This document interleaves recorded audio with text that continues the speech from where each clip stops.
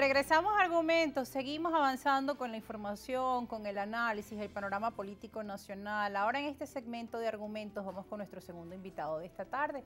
Nos acompaña de Acción Democrática el señor Clever Lara, secretario nacional de la organización Acción Democrática. Le damos la bienvenida a Argumentos. Bienvenido a este espacio por primera vez. Gracias, Rosa, por la invitación. Exitoso programa. Gracias, gracias. Gracias por, su sintonía, que nos comentabas que, también eres parte de esa audiencia. De a las 5 y a las 11 se ve muchísimo. Ah, bueno. Así que mucha atención con la edición de las 11 de la noche. Esta semana nos han estado interrumpiendo pues algunas transmisiones presidenciales, pero bueno, contamos con esa audiencia de las 11. Clever, este, un día en el que también es centenario de Carlos Andrés Pérez, una figura emblemática. Sí, bueno, hoy estamos conmemorando de la mano de Bernabé Gutiérrez, quien es nuestro secretario general nacional y candidato presidencial, eh, el centenario del presidente Pérez, dos veces presidente de la República. Personaje que trascendió el país, un personaje histórico, con una visión de futuro increíble, predijo muchas cosas de lo que están sucediendo actualmente en Venezuela. Eh, lamentablemente, bueno, eh, el tiempo le dio la razón, pero ya, ya ha muerto. Políticas que en su momento eh, generaron lo que pues se llamó el Caracazo. Sí, fueron, fueron medidas acertadas, pero que no hubo comunicación ni empatía con el pueblo, ¿sabes? Esas medidas eran necesarias. Eh, si hubiésemos continuado con Que quizá hoy en día hemos visto medidas así que se apliquen en otros países, pero sin embargo para ese momento pues... Hasta peor, porque en ese momento era el 30% del aumento de la gasolina, recuerdo, estando yo muy joven, eh, significó el 0,25 bolívares, o sea, un medio, lo que llamamos nosotros un medio. Ahorita un litro de gasolina está en 0,50 dólares. Cuando tú haces el equivalente, bueno, es disparado, ¿no? El precio con aquel entonces. Era necesario esos aumentos, era necesario eh, liberar la tasa de interés, aplicar esas medidas. Lo que pasa es que hubo un error allí, hay que decirlo, que no hubo la comunicación directa con el pueblo y que nuestro partido en su momento no le dio el apoyo necesario, ya que Acción Democrática, un partido de masa que está en todos los rincones de Venezuela, no le dio ese apoyo necesario para comunicar ese plan de gobierno o esas medidas de gobierno económicas o macroeconómicas a la ciudadanía en general, al pueblo de Venezuela. Bueno, parte del balance que se puede hacer hoy, a unos años después. El tiempo le dio la razón al presidente Pérez. Bueno, el balance que tiene Acción Democrática a unos años, pues, después de su partida y después de acontecimientos que marcaron también la historia contemporánea de nuestro país, de Venezuela, y hoy el panorama político, pues, está en medio de esas elecciones primarias. Hay planteamientos diferentes. La Alianza Democrática con su planteamiento de unas primarias con doble vuelta, abiertas, libres, donde estén todos los partidos de la oposición. Sin embargo, pues ya la plataforma unitaria emitió un reglamento para unas elecciones primarias que ha sido catalogado por otros partidos como un llamado que no es inclusivo, donde no están todos llamados a participar, sino que es como una primaria de los partidos que conforman la plataforma unitaria y no un llamado en general. Un pan con pan es eso. Este, nosotros desde Acción Democrática, incluso Bernabé lo ha manifestado, Queremos un proceso primario, pero donde participemos todos en general desde cero. Desde el partido más grande, el partido mediano y el partido pequeñito, nos contemos todos. Eso de hacer primarias de madrugadas y con gallos de medianoche no tiene sentido. Ahora bien, también queremos unas primarias donde participe el CNE, sea el supervisor de ese proceso primario. ¿A qué le tenemos miedo o temor de ir a un proceso primario con que el CNE sea el supervisor o el que realmente lleve a cabo ese proceso. Que será el ente que va a regir pues, Porque al final, exactamente, al final es el ente que va a regir un proceso electoral presidencial.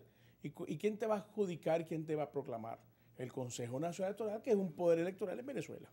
Pero ahora también desde el Ejecutivo, bueno, el vicepresidente del Partido Socialista Unido de Venezuela, Diosdado Cabello, decía, bueno, la, oposición está un poco loca ya con ese tema de las primarias y probablemente eh, tengamos primero las elecciones presidenciales a que esas primarias de la oposición. Bueno, recuerda que también es un tema de, ir como asustando y apresurando a la oposición. Yo creo que aquí no hay eh, algún dueño de oposición, ni de parte del oficialismo ni de parte de la oposición como tal la oposición somos todos los que le hacemos oposición al, gobierno, ¿no?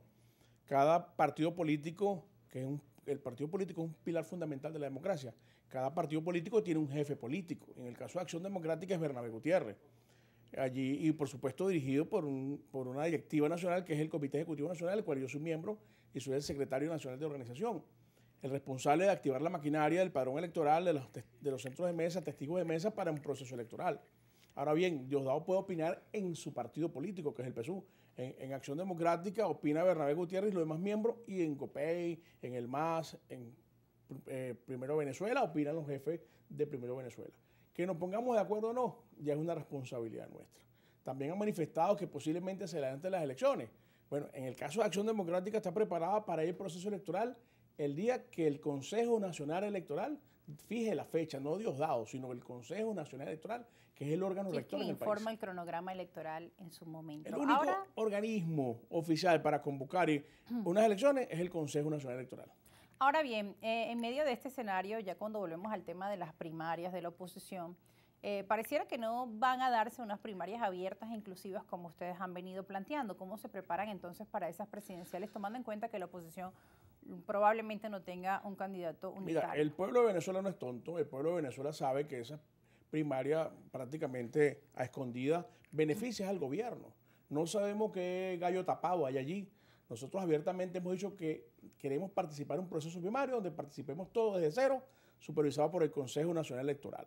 Ahora bien, si nosotros no participamos en un proceso interno, Acción Democrática no va a esconder tarjeta. Nuestro candidato presidencial se llama Bernabé Gutiérrez Parra. Fue cuatro veces gobernador del Amazonas, actualmente diputado de la Asamblea Nacional, con experiencia para gobernar y va a ser nuestro abanderado. Vayamos o no vayamos a elecciones, tenemos un candidato presidencial. Ahora, si se abren las primarias y, y permiten que todos los partidos participen, grandes, medianos y pequeños, bajo la supervisión del Consejo Nacional Electoral, bueno, apoyaríamos al ganador de esas primarias. Ahora, señor Clever, en medio de estas circunstancias, pues vemos que en las encuestas muchas eh, personas se consideran independientes, según por ejemplo los estudios de data análisis, dicen no estar con ninguno de los partidos políticos tradicionales. Eh, bueno, porque también sienten eh, un poco de desidia o cansancio a la falta de respuestas que han tenido de los sectores políticos. se ve que se ha producido un cambio en el patrón del comportamiento de la población electoral en Venezuela. Ahora, ¿cómo desde Acción Democrática ustedes sienten que pueden llegar a la población venezolana cuando muchos dicen, vemos a los políticos hablando nuevamente de campañas, de sus primarias, de los reglamentos, pero no los vemos eh, ofreciendo propuestas contundentes a los problemas que hoy tiene el país? Bueno, mira, eh, realmente estos últimos días ha habido un manejo de encuestas de muchas empresas, ¿no?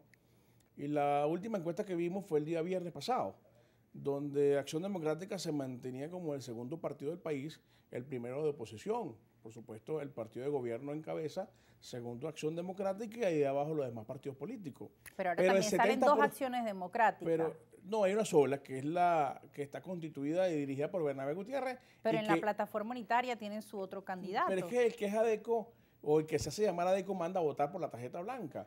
Y nosotros tenemos la tarjeta blanca, que usamos este, este logo aquí en el pecho con mucho orgullo. Ahora bien, este, aquel que se considera ADECO tiene que mandar a votar blanco en la tarjeta de Acción Democrática. Así tan sencillo. No puede ser ADECO mandando a votar por una tarjeta azul, roja o blanca. Es como, es como el ADECO que diga, bueno, yo soy ADECO, pero vota por el verdadero Acción Democrática. Somos Acción Democrática una sola y yo estoy y estamos donde están las siglas del partido. La que fundó Rómulo Betancourt.